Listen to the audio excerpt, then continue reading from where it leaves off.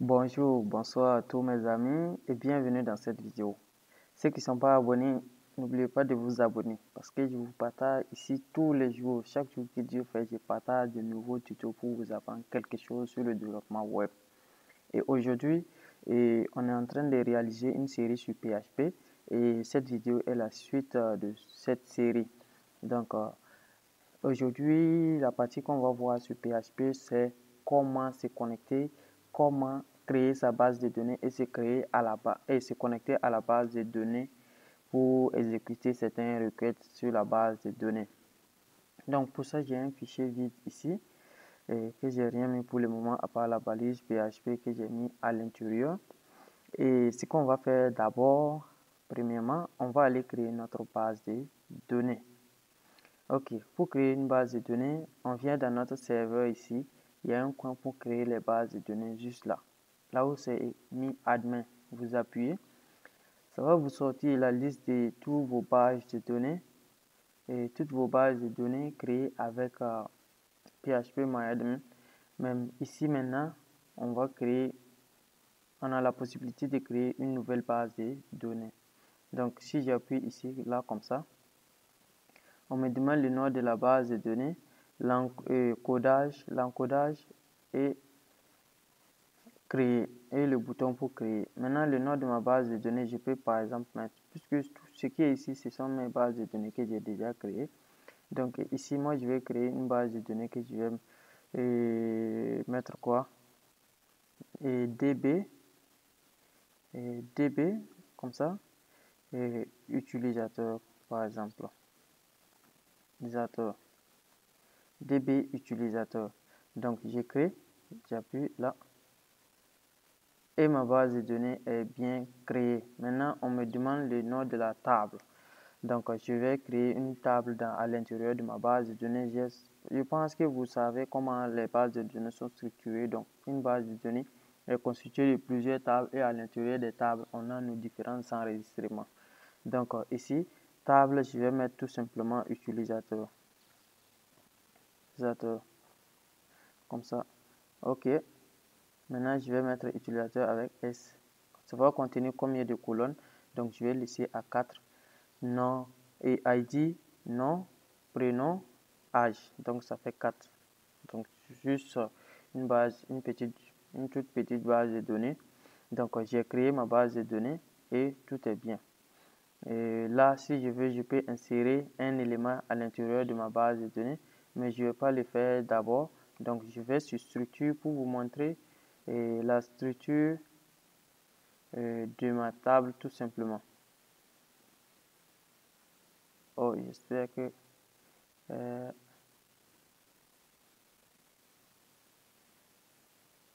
ah, j'ai pas créé ma table. J'ai fait le retour sans créer. Oh là là.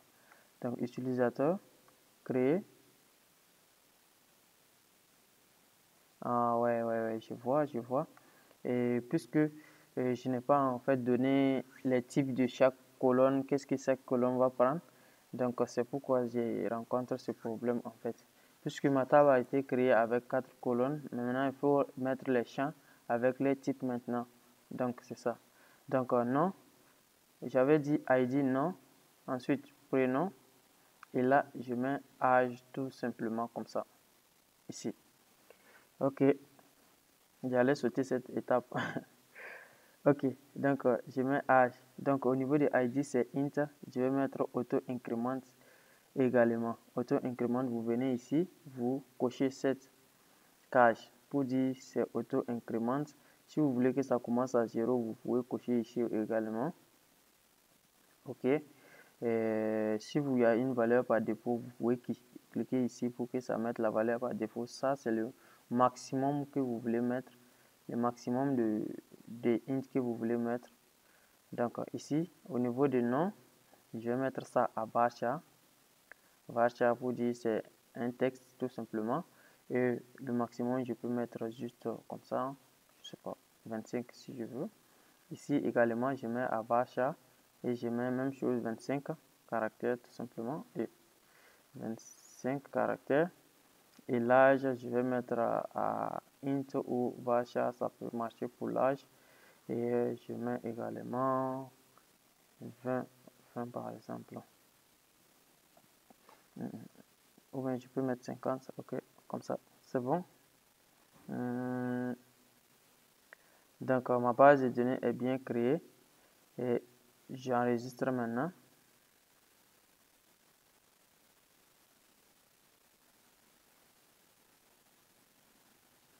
Ok, c'est bien créé et voici mes différentes chansons là. Et ID, nom, prénom, âge. Donc c'est bon pour la base de données. Maintenant qu'on a créé notre base de données, on va voir l'intérieur de notre base de données et on voit qu'à l'intérieur de la base de données, il n'y a rien pour le moment. MySQL return empty. Donc à l'intérieur ici, il n'y a rien puisque s'il y a des quand on va enregistrer des utilisateurs, ça va s'afficher ici. Donc pour le moment, on n'a rien. Maintenant, allons dans notre PHP. Maintenant, je suis dans mon PHP. Ce que vous devez retenir, c'est que, puisque je vous avais déjà dit, et les 3 et 4, vous gérez les exceptions sont très importantes en PHP. Donc, on va en venir. Mais il y a une seule ligne de commande que vous devez retenir par cœur pour la connexion à la base de données. Et cette commande, c'est celle-ci vous allez d'abord déclarer une variable que vous allez stocker juste euh, la récupération de votre base de données. C'est la commande de la récupération de la base de données qui est importante. Mais on va la stocker dans une variable qu'on va appeler connexion. Donc connexion égale new, new comme ça. Ensuite p, do et parenthèse. À l'intérieur des parenthèses, vous avez trois paramètres. Le premier paramètre, c'est le nom de la base de données concaténé et le nom de la base de données E. Hmm, j'ai dit bien le premier paramètre puisque ces deux paramètres en fait sont considérés comme un paramètre pour la fonction.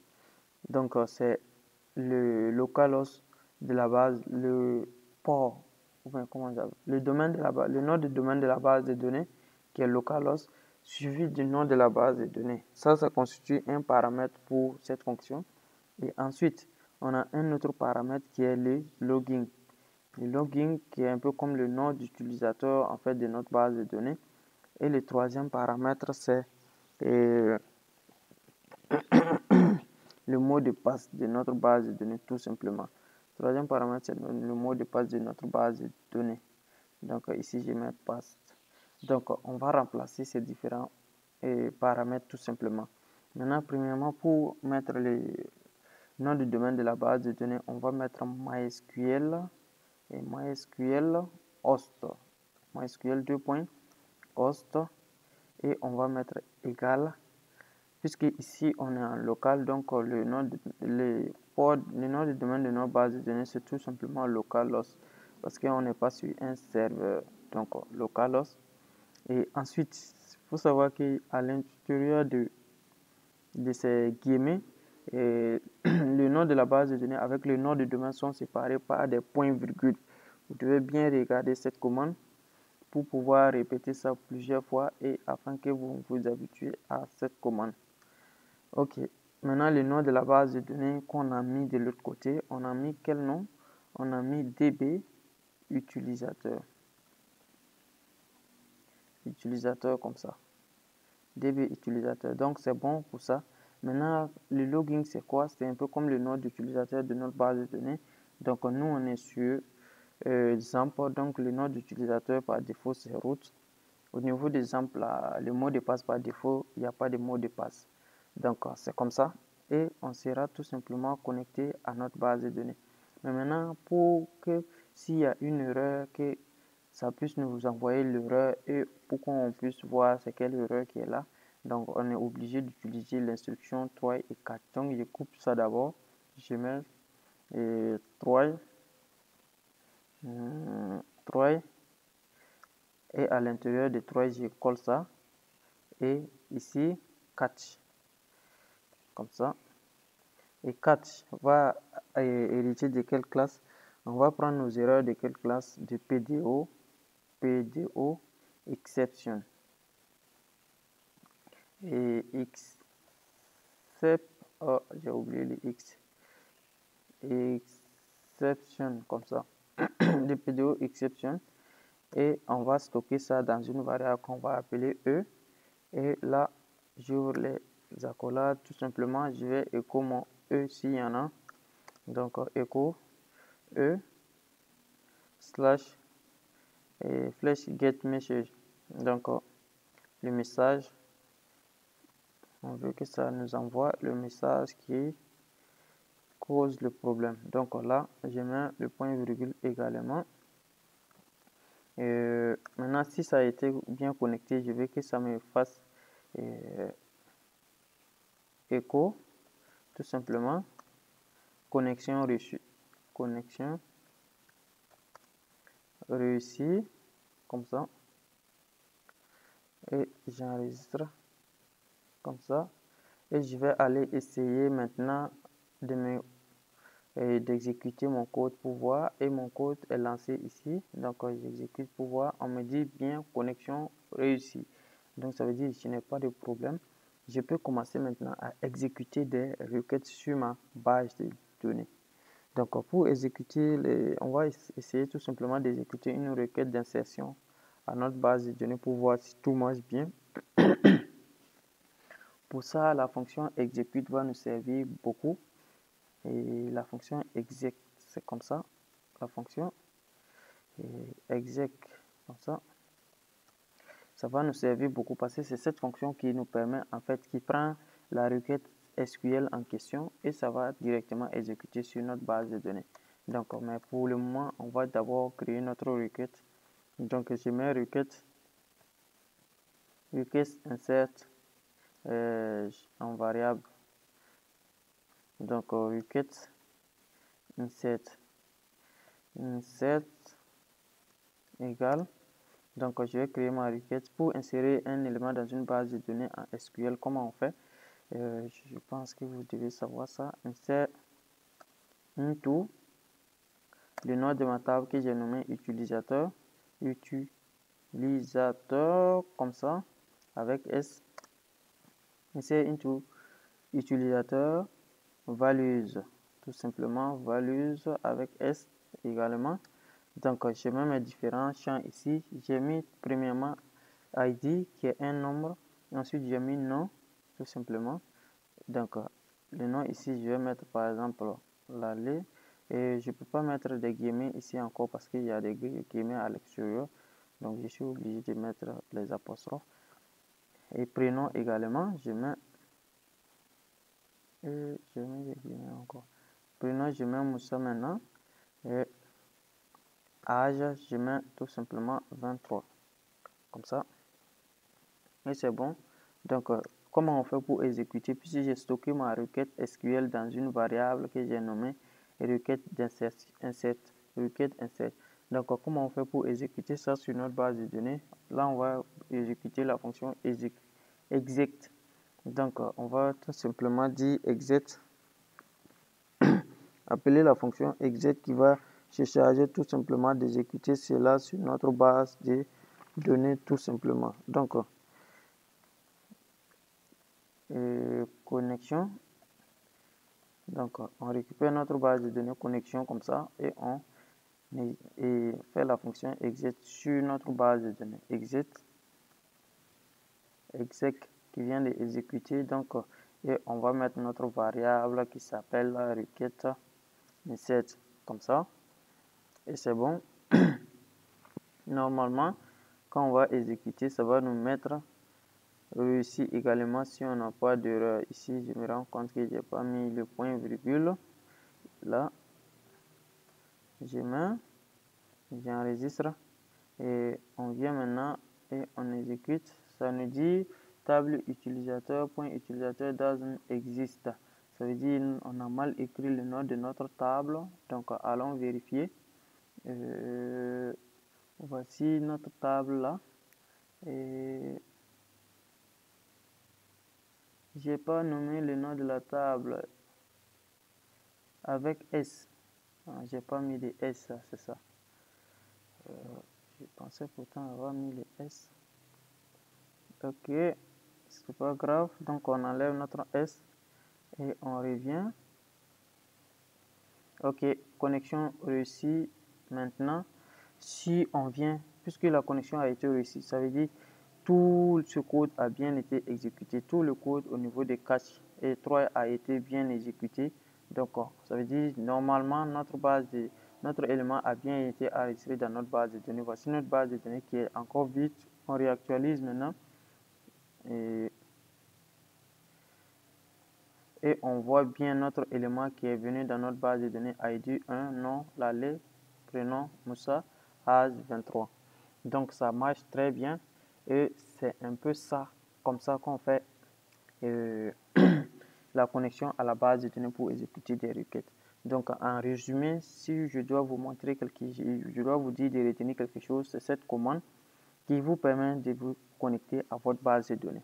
Les requêtes SQL, ça varie. Les requêtes d'insertion, des requêtes d'affichage, des requêtes de modification et tout.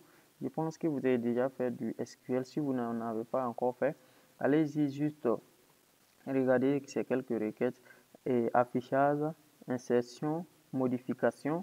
Je pense que c'est suffisant et suppression. Je pense que c'est suffisant pour cette partie du PHP, pour le PHP en tout cas, parce qu'on aura besoin de récupérer souvent des données, de supprimer des données et tout à partir de notre interface. Donc, ces quatre euh, requêtes, je pense que c'est suffisant pour le PHP. Donc, allez-y jeter un coup d'œil sur ces quatre requêtes pour comprendre comment ça marche. Et, retenez également que pour exécuter une fonction et une requête sur la base de données, vous devez récupérer la base de données et exécuter sur la, la base de données est enregistrée là et exécuter sur la base de données la fonction exec tout simplement. Donc, c'est la requête basique. On peut ajouter juste quelques trucs ici, quelques commandes ici pour optimiser encore plus notre récupération de base de données. Mais je pense que pour un début, c'est mieux de savoir cette commande tout simplement pour ne pas vous embrouiller. Voilà. Puisque si vous comprenez ça, comment ça, ça marche maintenant, après, en fonction des besoins, de l'optimisation que vous voulez faire de votre site, vous pouvez juste ajouter, aller apprendre comment on ajoute ces optimisations et compléter par la suite. Donc, je vous dis dans une prochaine vidéo, et ceux qui ne sont pas abonnés encore, je vous le répète, abonnez-vous je veux que d'ici la fin de ce mois, on puisse, je veux que d'ici la fin de cette année, on puisse atteindre les 1000 abonnés. Donc, abonnez-vous pour soutenir la chaîne. Je vous aime, je vous adore et je vous dis dans une prochaine vidéo.